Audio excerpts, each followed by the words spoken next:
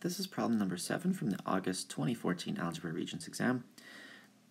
What is one point that lies in the solution set of the system of inequalities graphed below? So we can see that uh, combined, the solutions that we're looking for is inside this area here.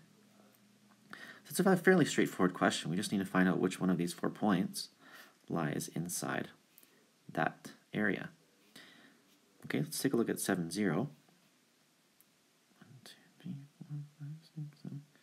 You know what? I think that might be the one right there, because that's what we're looking for.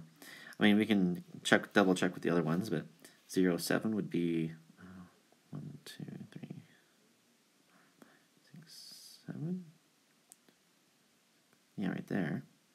And see that that satisfy that that's um, part of this solution set, but not the one we're looking for.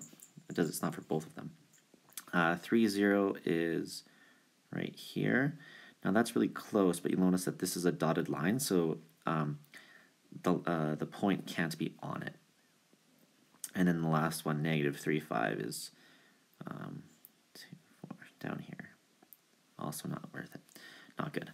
So, yeah, option number one is the correct answer because 7, 0 is in this area that uh, that's part of the solution set.